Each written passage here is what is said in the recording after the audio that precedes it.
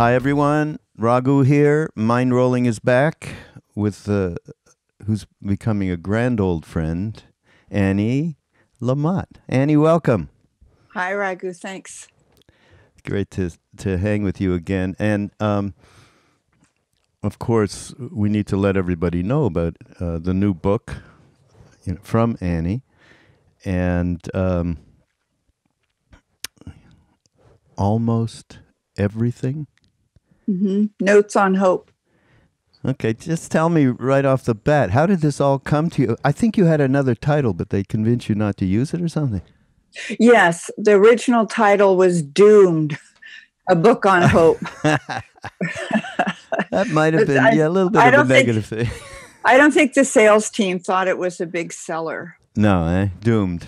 yeah, a book on hope. But yeah. anyway, so now it's um almost everything. It's really almost everything I know about everything. But the, what brought you to putting this oh. particular book together at this particular very, shall we say, sensitive moment in time? Um, well, I started it la- early last um, spring of Oh, here come the dogs now. Yeah, that's good. We're going to mix okay. them all together. I've got a whole pile of them myself. um, everybody I saw a year ago, year and a half ago, was in an altered state of terror and anxiety and also inertia and everything um, that is so hard to bear. And then um, you know, I'd actually started the last book, which was on mercy, right after the election. And because I discovered that if I said the word mercy or referenced a merciful heart, or uh, it was called Hallelujah anyway, which means, you know, the country is in the dire, dire shape, and Raghu has a terrible head cold, and you know, and the and the dogs are out of control, and and my feet hurt. I have tendonitis, but you know what? Hallelujah! Anyway, yeah. we have mm. life, we have breath, we have mm. all, we have all in all. Um, within us and with inside around us and above us and below us and beside us and sitting right now in our laps so i wrote a mercy book and and then i started to realize and the, the theme was very ram dass it was that if you want to get really crazily happy if you want to have really loving feelings, do really loving things right mm. now. Mm. And um, but then a year passed, and I felt that as an, a missionary act of love, I wanted to be a hope carrier. I wanted to remind people we've been in this bad a shape before when um, Bush Cheney was president and we went to war on Iraq and we um, you know, we set back everything pre- important to me politically, such as women's right and rights in the environment and how we take care of the poor and the elderly. Everything, and I wanted to remind people we've been here before. We stuck together. We moved to our precious communities. We brought thirsty people water. We did our prayer. We did our meditation. We found quietness and we sang and danced our butts off and we came through. So I wanted to remind people. And, you know, I think I wanted to write a book where I had the excuse to use that great John Lennon line that everything's okay in the end. And if it doesn't seem like it's okay, it's not the end. So yeah, right. hang in there there. Yeah. You know, one thing, yeah, it's we are certainly in extraordinarily difficult times, and one thing from the book that got me because I I see the uh, the ugly manifestation of anger turning to hate. Yeah. And and you say yeah. here, how do we become so filled with hate? It's not who we are. Hate's the worst emotion of all, second only to acute jealousy, right? Yeah. Um, and and certain people have late, and they certainly have caused the majority of us to experience derangement. And I, that is a good word because that's what it yeah. feels like. That's what it feels like. Well, the title of the chapter is called Don't Let Them Get You to Hate Them, because, which is uh, something based on something Dr. Martin Luther King said. Mm. But once you're hating people, you're lost. You know, you're in an altered state that is just so negative and rashy and crunchy and miserable. And this is going to sound paranoid, which I think it is. Um, it's what they want you know it's what the far right wants is us is for us to be out of our center which is love and truth and breath. And once we're there we are really not very useful to ourselves or to the poor anymore. And and so i started to think about um, something i heard when i first got sober 32 years ago which was if you got a problem go look in the mirror. And i started to um, do the work of intimacy you know that kind of corny whatever it's called where, where, intimacy means into me i see and i started to mm. make contact mm. with my own inner donald trump and my person who's kind of a blowhard a know-it-all thinks she's right um, and also has the most terrible periodic self-esteem i mean donald trump is a man who has never once been loved in his life mm. and he manifests that and um, and so I started to find the parts of me that are not loved or that I disassociated from because they were jealous or judgmental or uh, petty, um, and um, and I started to welcome those parts of me to the table and offer them soup and say everybody can come eat with us today. All are welcome. God doesn't say love your brothers and sisters if they're not annoying you that day you know you have to love everyone and the worst part is loving those parts of ourselves that are just so what's the word disappointing let's say you know and mm. so that chapter i think is most important chapter in the book um, mm-hmm. is not on don't let them get you to hate them and that if you do the healing it's an inside job and if you um, commit to that work, then what you have to offer is clear water and love. And when you're offering love, then you get in a really happy mood. Mm. I love what you say here, though. Even my Buddhist friends have been feeling despair. That's like, I went, oh God, now we're really in trouble, right? Well, yeah. Then I said, when we when they go bad, we know we know it's all over. Uh, especially um, poignant for us. We just did a, finished a retreat with Ram Dass and our Buddhist friends, and um, I didn't, by the way, notice. And this, of course, this overriding thing that we are living with on a day to day basis is present everywhere, even in the midst of this retreat where it's called "Open Your Heart in Paradise," which is is is what we. Uh, what we aim to please. You you get your money back if that don't happen. But at the same time, it's it, there is this underlying um, anxiety, of course, going on. Yeah, there's terror that that we um, have had indications of how out of control and um, uh, really insane. Um, the president is and we worry because we want our grandchildren to live in breathable air. And you know the when the climate change report came out a few weeks ago and it said that within 15 to 20 years we will be in catastrophic climate conditions you saw this little child run in who i'm responsible for and i can't promise him much of anything except that I think we have been really galvanized. And I think that we are back in the saddle now. And um, but it's harsh, it's scary, it's sad, and um, what people are going through and what people in the world have really always gone through the just grinding poverty and cruelty of those in power. So, but we don't get anywhere by hating or blaming or casting them aside. They God doesn't cast them aside. My understanding as a Christian is that Dick Cheney will be welcome in heaven, you know, and that maybe he and God will have a tiny talk first in the ante room about the bit maybe a bit of mess that needs to be cleaned up, but that all are welcome. All are welcome at the table, and that Dick Cheney is loved the same way my little grandchild is loved, and and so we get to to the work of um, of helping other people who scare us to death, maybe do a little bit or be healed by the lack of attack on them when we take the focus off of them being our problem. I mean, my default reaction to this terror and anxiety is like figure out who to blame you know?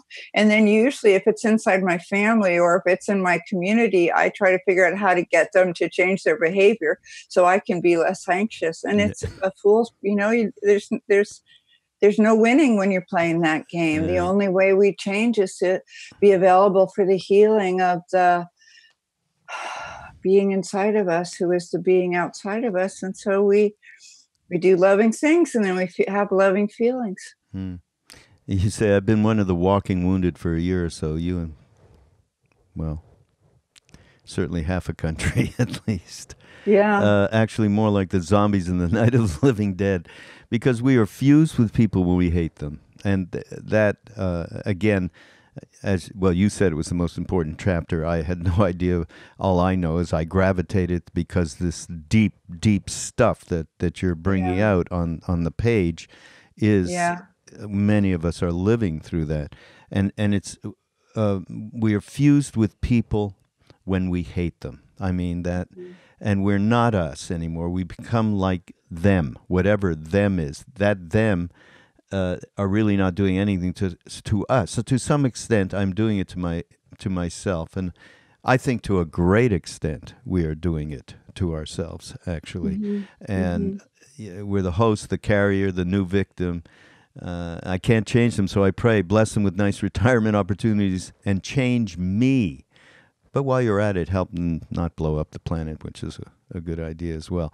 But but moving this back in on on ourselves, uh, and because I really do believe that uh, to a great extent we are uh, absolutely um, uh, generating this polarization inside ourselves, so that we have no chance at all of not thinking of a quote unquote them.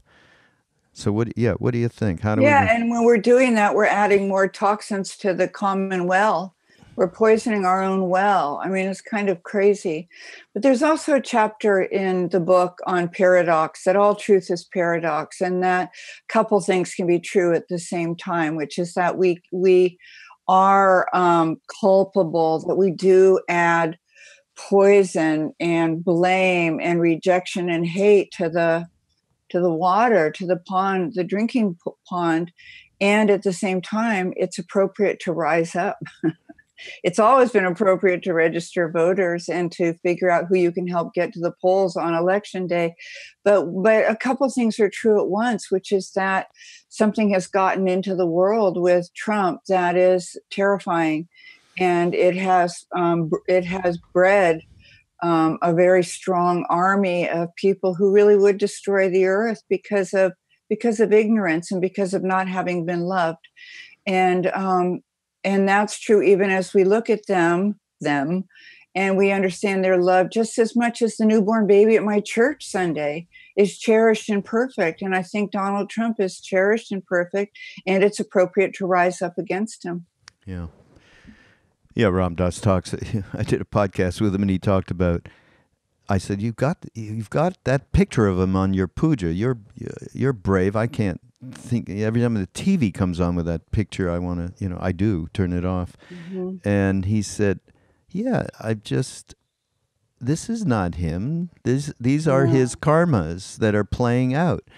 And he said something like, that he'd like to go and have a chat with him and uh, have a chat with the the karmas. And maybe we can help out the, to transform them perhaps. Yeah, i said well i think that's right. I think you need to fly there. Uh, uh, we'll get a, a, private jet and get you flown there like right away now Ram Dass and he laughed. But uh, I think that's right. And you know, um, Krishna Das at the last spring retreat that I was at with you Mm. Um, said something that has so stayed with me, which was one of the younger people. You know, I, a lot of the younger people that were with us last spring really were grief struck by what's happened to the country and by their colleagues being shot at and then the the police being acquitted and and by the just terrible terrible terrible setbacks to the um, environment and to women's rights and to you know and the refugees and the children in cages at the border. And Krishna Das pretty much said you know i don't know what to make of it all. I just know to keep going from place to place singing the name of god. Mm, and yeah. that's really all i know to do and it's enough. And and then the, the critical mind inside of you says how can that be enough? How can that be you know they're going to go tear apart the alaska uh, reserves now. How can it be enough? It is. It always has been. It always will be. Uh, einstein said that the fourth fourth world war will be fought with sticks and and rocks but you know there will be precious community. There will be um, groups of us doing our prayers and our chanting and our meditation taking care of one another and doing service and and doing sacrificial love for the for the most vulnerable. And that's how it's always been. Yeah. and that's how and that's it will always work in the sense that it will always be the choice the reality that we turn towards we turn towards the light. And but see left to my own devices i fixate on how awful people are behaving you know and how how this should change and this must change and this is about to change and this and this. It's like when you see tiny babies infants really they do this funny little self-comforting thing and it looks i also thought it looked like they were knitting they go like this, you know, this kind of worried thing, but it's self-soothing. And I think in certain ways, our hatred and judgment can be that same kind of obsessive self-soothing, and we don't know it. And then someone mentions it, and it breaks the trance, and we go, "Oh, right, I am love." I am surrounded by love. I was made to love. There's, you know, and then we get our we get the truth of our spiritual identity back and then we become really loving people full of grace again and that that's what changes the world yeah, and uh, just a little further. Well, I mean, I'm very much into. Um, as your whole book is just full of quote unquote, you never say the word mindfulness. Be mindful, be aware, look at the motivations, look at the way that you're not you're straying from the uh, as a Buddhist would call true nature, true inside person. That would probably be uh, what what was would be found in the book. Uh, but righteousness, which is the most difficult uh, for us to transform, when we're stuck in our convictions, convictions and personas, we enter to, into the disease of having good ideas and being right. Right, and we think we have a lock on truth with our burnished surfaces and articulation, but the bigger we pump ourselves up, the easier we are to prick with a pin. Uh, so and also it goes on to say and also the bigger we pump ourselves up you can no longer see your feet on the ground yeah. you know on on our mother supported by and held by and and in wonderment to our mother earth so but but I, that's my first um, response to this terror or this feeling of being eh, the victimized self-righteousness you know that and and the only solution is bless them and heal me and help me get right sized again and who here needs water maybe it's me you know, for mm. me to get myself a glass of water and to do radical self love with my sometimes annoying and always self obsessed self is an act of of global healing. Mm. So there's a lot about self care and about how it, it's like Ram Dass and and uh, Caspar Weinberger when I first read about his puja table yeah, where he'd wake up, good morning, yeah. Mary, good morning, Jesus, oh, good morning, Krishna, oh, good morning. Good morning, Caspar. yeah, and yeah. with with Caspar or Dick Cheney or um, or Donald Trump, it's it's so tempting and oh you know we i think I, we i'm just repeating myself now but it's just so tempting and easy to see the damage they're doing and the many many ways in which they might change and for me to radically change the world might be to pay attention to my breathing for three minutes mm. Mm. for three mm. minutes. But then those critical voices again say, What will that do? What good mm-hmm. is that going to do? What is three minutes? Three minutes, we can't even give you a partial credit. It has to be 20 minutes.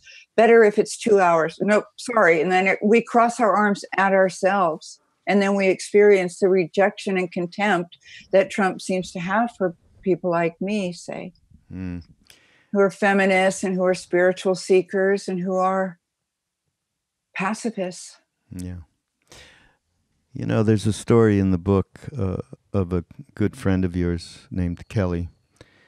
And just reading that whole thing, I just started to f- feel.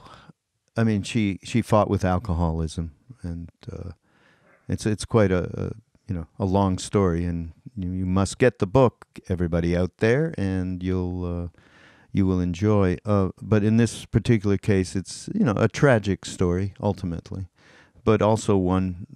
It's not one thing, that's for sure. But what I found, you know, we talked about her uh, alcoholism and addiction that way, but it, ultimately, she was addicted to her story. She was so tied into her story, which included atheism and so on, so fixed there, so much in belief of those thoughts that that was the, the real addiction. Uh, less so, I mean, of course, alcoholism is a, you know, tremendous issue.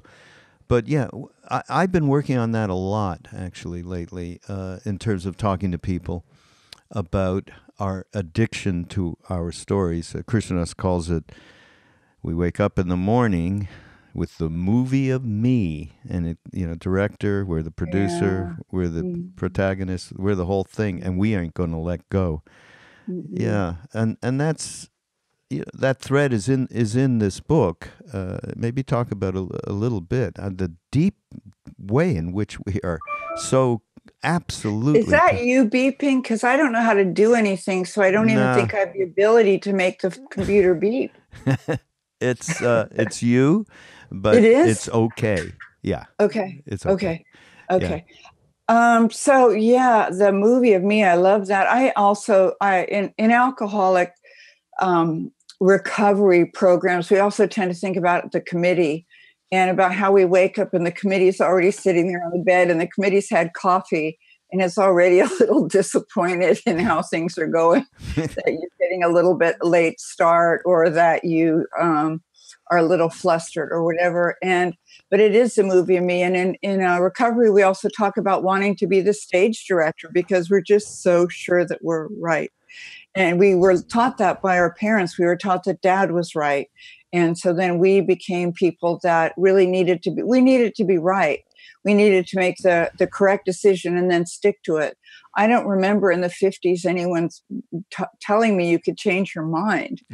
and so um, it didn't come up, you know, until the women's movement in uh, in the 70s. And um, so you you have these convictions that you want to be happy or you want to be right. Well i feel that i am right but why doesn't that make me happy? Well because the committee and i would like to stage manage everybody else that they're talking too loudly or not loudly enough or actually they're not even supposed to be on stage yet mm. or the lighting is off or or whatever. And this um, ability sometimes in these teachers who help us get out of ourselves and, and become either people for others or people of the way you know people of the the way. That's what they originally what christians called themselves were people of the way. And and a christian was a pejorative term which i completely understand as a left-wing christian. But anyway um it's so it's the ultimate liberation to get freedom for however long you can on any given day from this from the story of me and to instead get into wonder and instead get into that umbilical connection that breath work gives us to to the great beautiful good thing that isn't our our you know the rat exercise wheel of our minds. And so that's really what the retreats are about, right? They're about unhooking from the neurosis. And I love that Dass says, you know, I've been doing this work for 60 years and I have every neurosis I ever started with.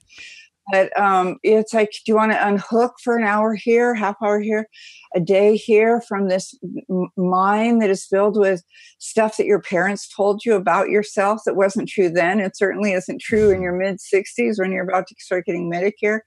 Um, or do you want to hook into the bigger thing? Do you want to talk, talk hook into the wave? Do you want to hook into the to the where to the sky do you want to hook into the heart do you want to talk into be today i think today is the feast of guadalupe and she is mm. really my favorite saint because mm. what she says she appears in the 1500s to a terrified indian boy in mexico she says don't be afraid i'm here And she says i'm your mother your mother's here and most of our lives have been spent desperately trying desperately trying to get people to put on the mother suit so that we can have a little feeling of connection and being loved. And the mother's here and the mother's inside us and we are the mother. I'm your i'm your mother you know and you're my mother. That little boy who ran in here is my mother. That's what mother love looks like and um, but it's very hard to do when you're when you and the committee are sitting around like with your clipboard plotting strategies so that other people can understand how poorly they've behaved and how they really better start acting better yeah the committee yeah That committee probably includes a psychiatric nurse, hopefully, that can help you Oh, I out, as a friend of mine said to me. Uh, My dog is my psychiatric Yeah. nurse. You know, and I've said in this book and almost everything I've written that our dogs are the closest we're going to come to knowing the direct love of God on this funny blue marble. mm. Well, I've got five of them, Annie, so Uh, I, I guess I'm there.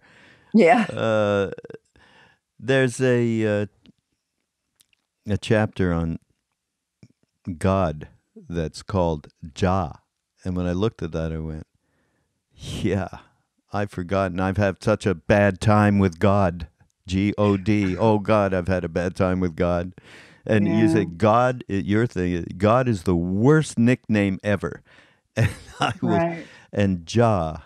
I, I- I did. We did a retreat oh, a couple, a couple of months ago, or a month ago, not that long ago, that we do in Ojai, California. That Ram Dass gets skyped into, and a bunch of teachers, and you know, we really use his material as a jumping off point for people. And uh, the thing that I picked, he did this series, by the way, in um, the opening of Naropa Chogyam Trungpa School in uh, in Boulder, and he was there for that opening, and he did like I don't know a couple of weeks on the Bhagavad Gita and its relevant relevance, rather, to us.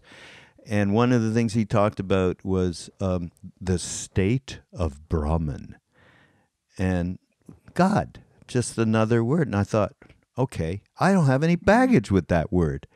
Same, I don't have any baggage with Jah. I love Marley, you know, and Marley yeah, said yeah. Jah would never, what did he say? Jah would never leave the power to the bald heads, Yeah. right? Uh, He so- said, lively up yourself. But um, the names for God are so profound unless somebody is saying them while shaking their finger at you and explaining how much God wishes you were an entirely different person. But I had a therapist, Robin Posen, who actually is a writer too. Um, and she always called God the grandmothers. And I love that so much because there's always these old ladies with great hats in the back of our church where we have about 35 people, Hmm. and they're all grandmothers and they just love you crazily. They just, they don't see anything but delight in you and, and caring for you and worrying about you when you're obviously a little bit down or, or whatever. And I love the grandmothers as the name for God. And then in the chapter on God, it talks about how my son, he was raised in the church. It was raised at this funky little church in Marin City. He um he had to run screaming for his life, as almost everybody does who was raised in an organized religion.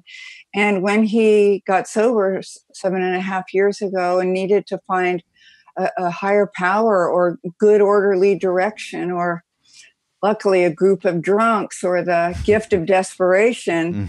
he turned to the deteriorata which is a great parody of the desiderata where the guys say the writer of the poem says um, you know honor your god whether he's a hairy thunderer or or a cosmic muffin. And so my son started calling god the cosmic muffin and that was almost eight years ago and we still say you know have, has the muffin gotten back to you on this yet? Or have you have you spoken to the muffin about this? So i have to lean out of screen for just a second to Okay, turn this go ahead. off but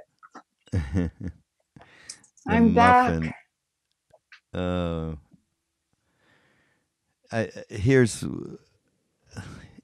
this is why I love you, Annie. The way that you characterize, we are talking about a higher power, a power that might be called, not me, yeah or a kindness, a patience, a hope which is everywhere, even in an, in even in our annoying, self-centered, fraudulent selves. Yeah. And and throughout the the book, uh, and th- throughout all of your books, is this sense of don't beat yourself to get to death. Uh, It's okay. We're human. Jack Kornfield does that all the time. We're human. It's okay. Look how crazy we are. We got these, uh, you know, we throw weird stuff into a mouth and we crunch it and you know Yeah. and he says if you ever watch yourself having sex that's really off the wall it's mm-hmm. okay it's mm-hmm. okay you know and yeah yeah well the bible says we're fearfully and wonderfully made which i love so much because i think that what it means is how vulnerable we are, you know, and we're also, we have aggression in us. We're human. It's okay. We're a violent species, and Cain is still killing Abel, and we're as vulnerable as kittens, and we're pure love. And it's scary to be here. It's scary to have been hurt.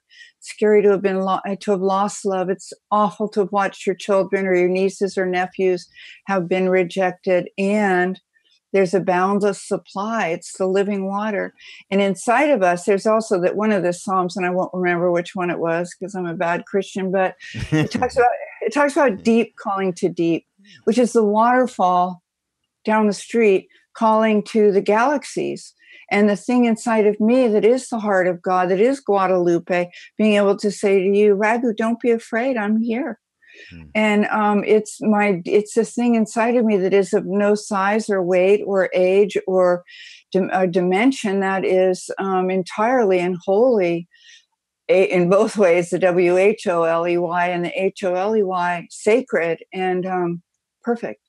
Yeah. And yet we're human, and it's so easy for people, and I think maybe especially women, to give away everything they have because we were raised to get our value from making everybody else feel whole or in, in my case to make the men feel better about their, their behavior like to the mothers or to the other women.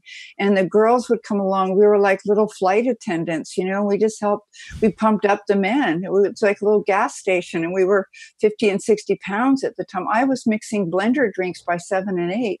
No. so uh, and i learned that that was my value was how uh, the men with power and the handsome men thought i was doing and so it's very hard to stop doing that and instead to say to your own baby precious self, Are you okay? What do you need? Well, I think I need a, a bag of Cheetos.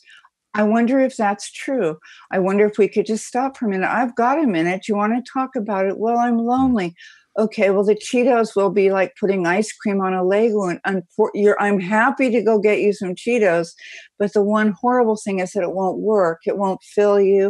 It won't even taste good after the first couple of fistfuls. You know, what else might work? Well, I'm thirsty and I'm sleepy. Well, what if we had a cup of tea and then a nap? And then we checked back in. We revisited the Cheeto issue.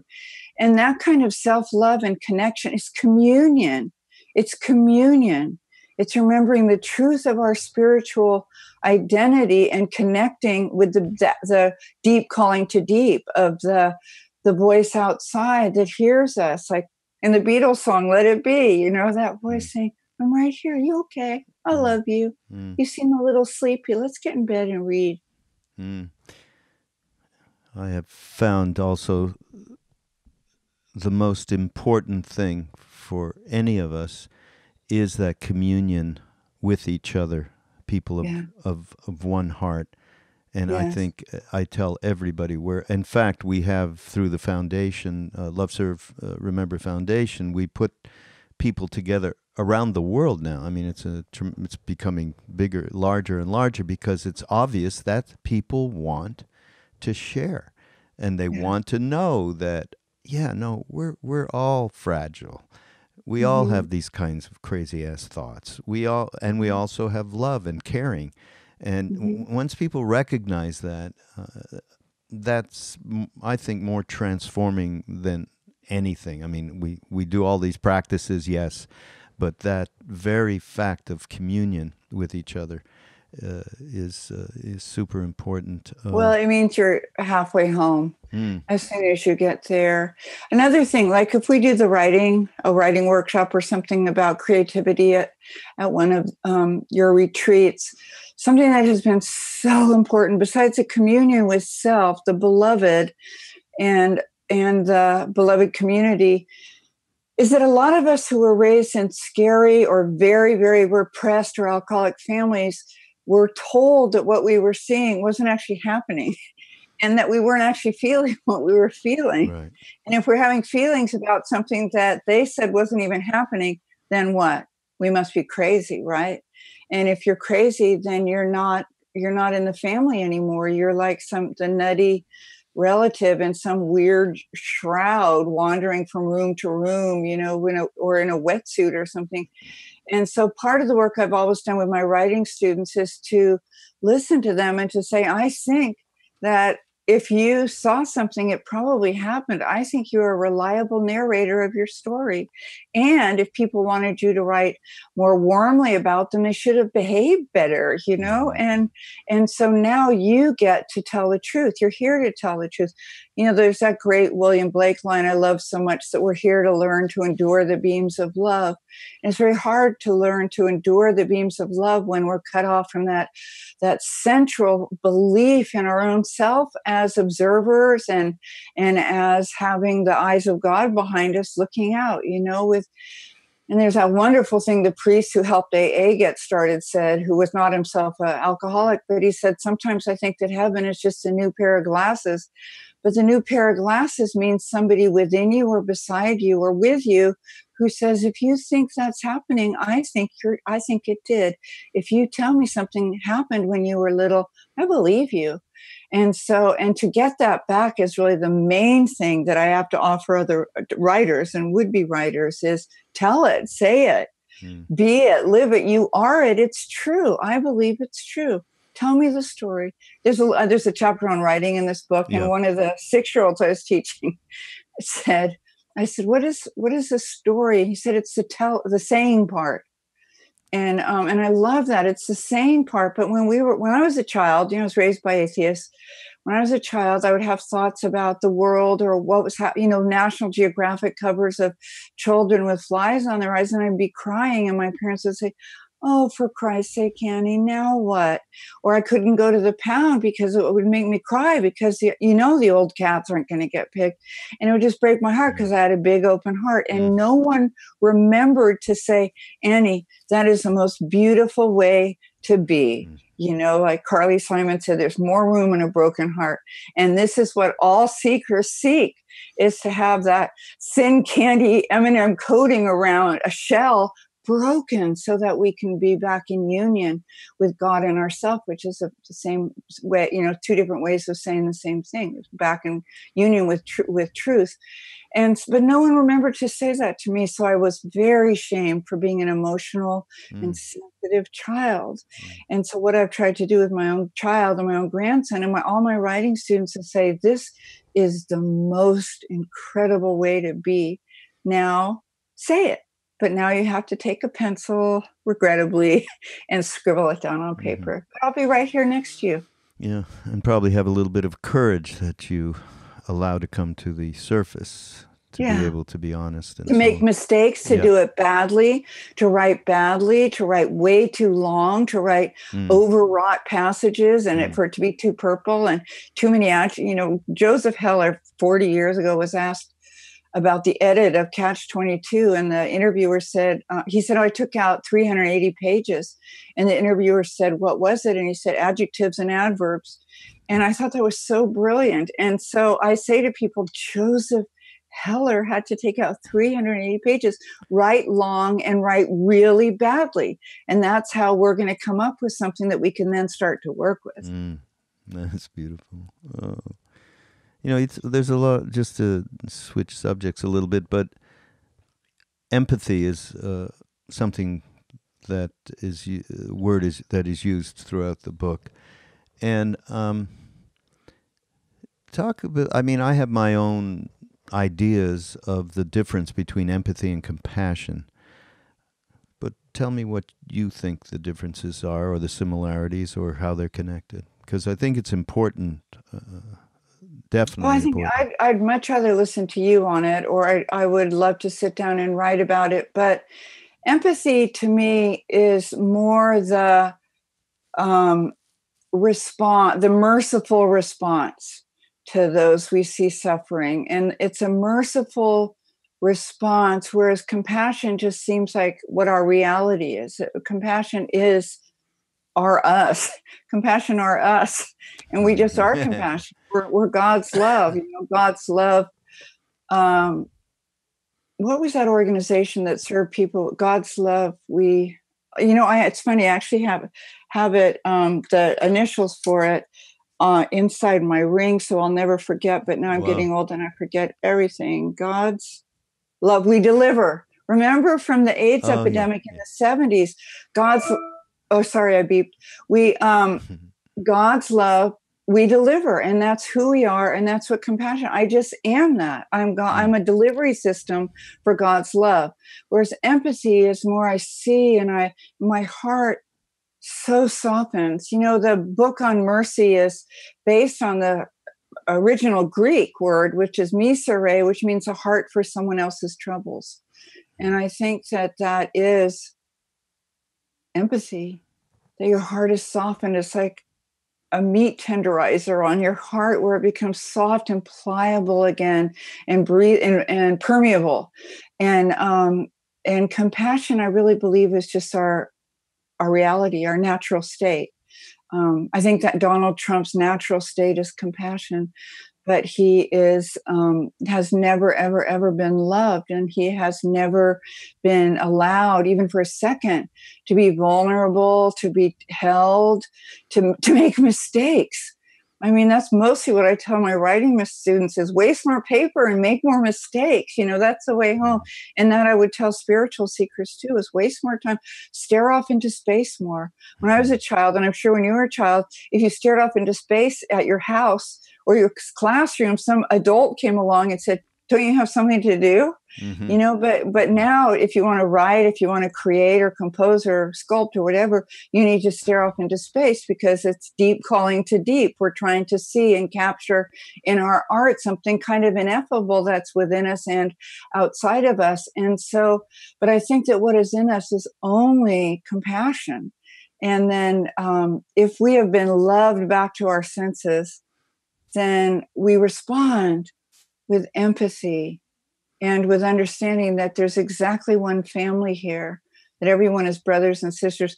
There's a story i don't hate in um, the book. I forgot what it's called. Almost everything about uh, my uncle who just oh yeah. had, that's he had nothing. He had zero interest in me. He would patronize me when we were doing really, really well. He had no interest in who I am or in my heart or my troubles or losing my father in my early 20s or anything. And then I heard, I said the most horrible, insulting thing that I couldn't even say on a podcast. And um, and so that of course didn't improve our relationship.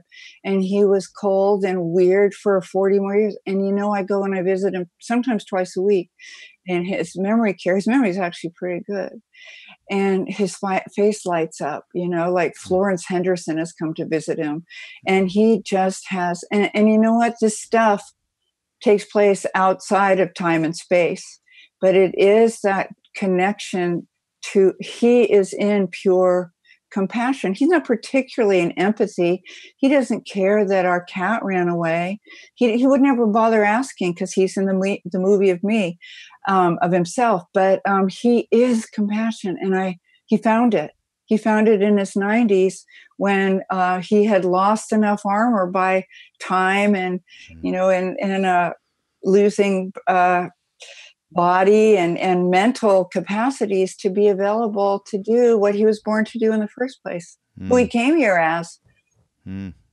love and wonder. And I walk in and he's like, It's amazing, eh? Yeah. All the stuff that gets stripped away in aging is. Yeah.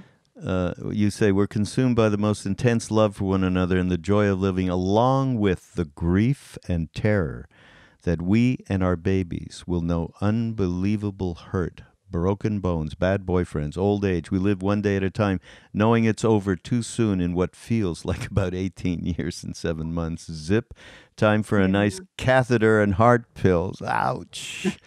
Every day we're in the group of the impossible conundrum, the truth that it's over in a blink and we may be near the end, and that we have to live as if it's going to be okay no matter what. And yeah. someone named Niels Bohr wrote, you quote, the opposite of a true statement is a false statement, but the office, opposite of a profound truth can be another profound truth. Huh?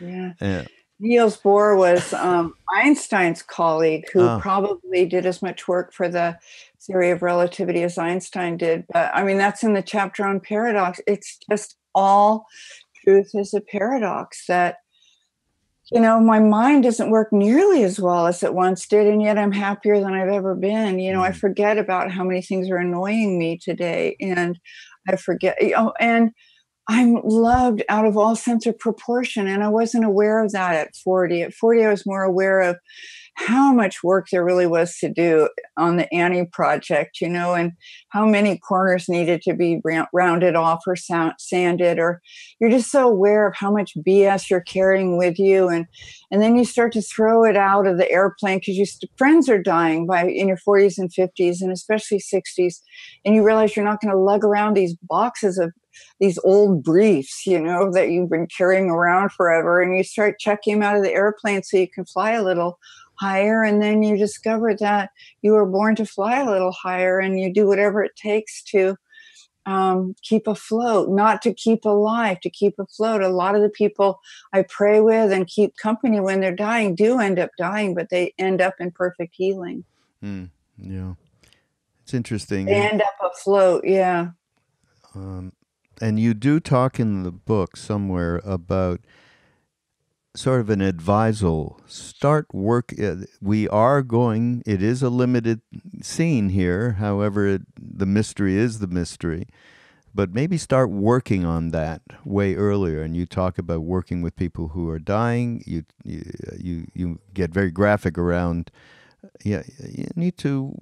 After someone dies that's a beloved, a family member, wash that body. Uh, this will be a gigantic a transformational experience. And uh, mm-hmm. and we, we we do much of this kind of advisal for people in in in the retreats and everything. We had the, well, the retreat you were at was no yeah. death, no fear, and uh, in fact, that's, no death, no fear. Yeah, yeah, yeah and we're coming. Well, I wrote that chapter on death because one of the younger people in our family, in, in their twenties, was so afraid of us dying, of the grown-ups who take care of them dying, of of anyone dying that they couldn't live without. And the only way through that is to move in close to it and to breathe along with it and to do beautiful, loving care to the in the service of death and dying. And it makes you so free when you have to stop when you get to stop running from the abyss that your whole life you thought you were about was about to open up at your feet.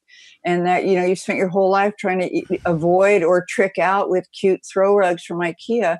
And it said when you stop and you see somebody who's not going to live but who really is going to have full healing and who that day is doing joy and wonder and who is really really loving the expensive chocolate you brought. You know, it's meaning of lifetime. Mm. Mm. But everybody uh, out there, you all listening here, uh, do think about this. This is a good thing. There's a great book by uh, a series of books by Carlos Castanedas from long to mm-hmm. 70s. And uh, he had a brujo or a, uh, a guru, a healer. And that Don Juan, and Don Juan used to tell him, every day live as if death is on your left shoulder, I think it was, but right on your shoulder, right with you, be mm-hmm. with it. Mm-hmm. And, you know, obviously to be. Or, yeah, or Frank Austin, our brother, Frank. Frank, yeah. Austin Seski. Ostaseski. Ostaseski. Yeah amazing book, The Five Invitations. Yeah, The Five Invitations. The Five Invitations. It's a life changing book. People say what it's about. Well, it's about death, dying. It's about hospice, and it will ultimately lead to more happiness than you can even and freedom.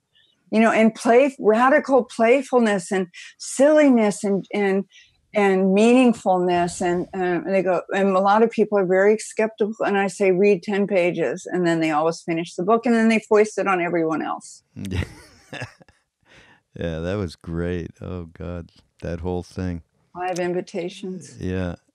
Uh, by the way everybody out there just a little plug because we're talking about it and annie reminding me about that retreat uh, that she was at and it uh, that uh, next in early uh, 2019 at the end of the month we're uh, going to present that whole uh, retreat uh, cut into focused bits digestible bits as an online course okay? So look out for that everybody because it was truly uh, some amazing amazing content. Frank and roshi joan halifax and bob thurman and Krishna Das ramdas and all of them. Um, I just, I mean, I, you know, I start, what I do, Annie, is when I, especially if I'm going to talk to somebody about they've just written a book, and I'll go in and you know whatever attracts me, I'll pull it aside, and I've got pages of this. At one point, Yeah. I just went, "No, I can't keep going on here. It'll take us th- like three or four podcasts before we get to all of it." But uh, and of course, everyone out there, you'll be able to get a link to Annie's book, almost everything, along with some of her other work, uh, on the uh, the show notes page of uh, BeHereNowNetwork.com slash mindrolling. Uh, listen to this, everybody. Aging can be hard. It might have been useful had we not followed the skincare rules of the 60s, which were to get as much sun as possible while slathered in baby oil and basking in the in the glow of a tinfoil tanning reflector. My mother, this is her on a day-to-day basis. Your inside person. I love Yeah. that little turn of phrase. Your soul. I have to tell we have to tell Ram Dass, hey, when you come in the spring, we got to talk about the inside person. The mm-hmm. innermost baby in the nesting doll of you is close by when you despair about your neck. You, you say that, and I'm reading that, and I'm going, shit. I look in the mirror, and I am despairing about my neck at times. Uh, even to the point, why did you take that kind of picture of me at the retreat? Okay. Your failing vision and drive, uh, but your inside person also knows that with myopia, cluelessness, and tiredness comes grace, which is, That's right. right? That's right. What did, what did you say at one point? Uh, uh, something about oh God, I don't know if I'm gonna find it, but uh, in the end, Grace comes and dumps you out, you know, like in in a wheelbarrow at some place. Grace picks you up wherever you are, There and it it puts you in its funny little rickety wheelbarrow, and it then it takes you to a, def, a different place, a slightly sweeter place, and it tips you out very gently. Good, very gently being apropos. Um, yeah, the inside person. Um, we're we're we're pretty much at the end here, but uh, actually, the the one thing, I mean, there's a lot of good advisals from you in this book, but one thing that uh, that I think is uh, when we talk about uh, well, Ram Dass talks about it. You you we can operate on more than one plane of consciousness at the same time. hmm And this, ex- you say, get out of yourself and become a person to others hmm while simultaneously practicing self care. And that, I think, you know, those are uh, two planes of consciousness at the same time. hmm It, it also addresses when we talk about, um, you know, you talked about Krishna Das saying, well, I, all I know to do I, is, is just chant the, the name. Go around singing the name Yeah. of God. Yeah. And at the same time, and that's there's self care in that, there's sharing so everybody can fall into that heart space and Mhm. and connect with true nature and get out of your story a little bit. And at the Mhm. same time, any actions that you might take because that's your karma in this uh, you know whether it be uh, for the rights that are being taken away from from us Mhm. whether it be um, any kind of of uh, action, social action, that Mhm. can go on at this. So this just struck me that it's all of it can go on as long as we are practicing simultaneously the self care, Mhm. and that you know I think that that's uh, a super important. Uh, hmm Self care is is um, staying in contact with yourself. It's saying to yourself, "Do you need anything right now?" Like I would with you. If you and I were traveling through a day together, because I'm such a grandmother, I'd say, "Are you hungry? I, I have cashews, you know, and I have a kind bar, and can I get you a glass of water?" And if I'm doing that with myself, then what I'm offering you has a certain purity to it because it's it's a Mobius strip of caring instead of me um, going being a little bit empty on the inside because I'm giving you my life force and my kind bar. And so when I'm in this, this is the main way I do self care is I touch my shoulder. It's a laying on of hands though. And it's Hmm. very natural for me i'm always laying on my hands with other people and doing prayer or just quiet healing with them and for me to do it with myself it like breaks the first contract i signed with my parents that i wouldn't do that kind of nutty thing you Mhm. know that we just had contempt for religious people or healers or the christian scientists down the street and so for me to touch my shoulder gently to get myself a glass of water and notice it and drink it and taste the deliciousness and clarity of the water it's why i was here it's got to start with me though hmm And the Buddhists would call aware that uh, mindfulness and awareness of uh, the like the walking meditation, where you're completely aware. You pick your foot up, you place it Mhm. forward, and it put it down. Mhm. And that uh, yeah, awareness, which you bring up and talk about in the book, is extraordinarily important alongside of everything else. Uh, absolutely. A joy to be with you. oh Annie. you too i can't wait to see you again in Yeah, a few months In a few months, yeah. Uh, we're will you take very gentle care of that cold Yeah, the cold is gone. I got rid of the cold. There's still some lingering, God knows what. Uh, but yeah, mostly through it. And thank you, though. Thank Yeah. you, thank you. So every rest yeah, rest is a spiritual act yeah, and not one. And it's another one of my story is I don't rest. I never take a nap. I have the same energy as I did when I was 25 years old, before I went to India, which I was what, 22. And I was the program director of a major rock and roll radio station. I'm still that guy. I'm still looking through those eyes, and I Right, got my story, okay? right and I ain't giving it up. And, you know, so, yeah. well you take gentle care and i love you and thank you for doing this with me Thank you. And everybody, uh, almost everything, Annie's book, again, you'll be able to link to it and uh, um, uh, others of her books. And we will see you next time on Mind Rolling. Bye bye.